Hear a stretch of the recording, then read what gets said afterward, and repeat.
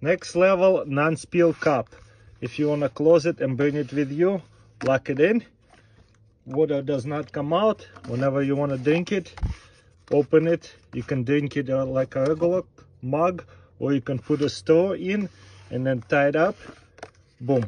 And you got a straw.